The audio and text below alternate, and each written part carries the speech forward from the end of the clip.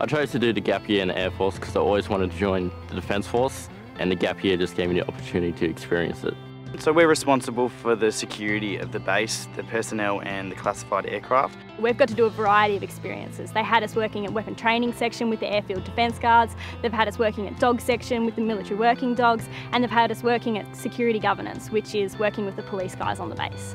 Being in a permanent job in the Air Force is a lot different to the training and it's really good working in a team and I feel like I belong here. The Defence Force Gap Year program offers a chance for young people to join, develop as a person, grow in confidence.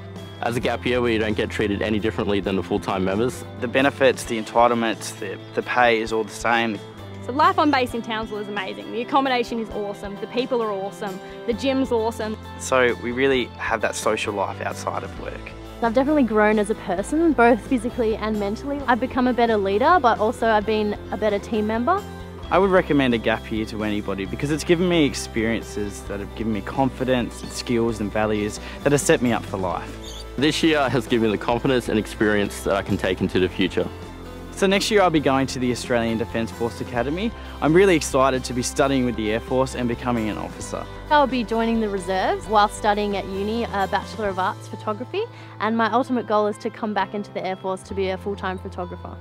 Next year I'm going to stay in as the Air Force Reservist, go to TAFE and hopefully remuster as a ground mechanical engineer. I would definitely recommend Gap Year to anyone who wants to do it. It is a great experience. You learn so much, you build so much character through all the hardship that you go through. There's just no experience like it.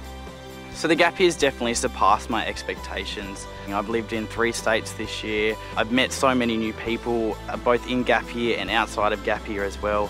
I'm proud of what I've achieved this year. If I hadn't joined the gap year, I'll probably still be sitting in my room playing PlayStation. To anyone joining the gap year, I just say good luck and it's a really hard challenge, but it's so rewarding and you'll definitely remember it for the rest of your life.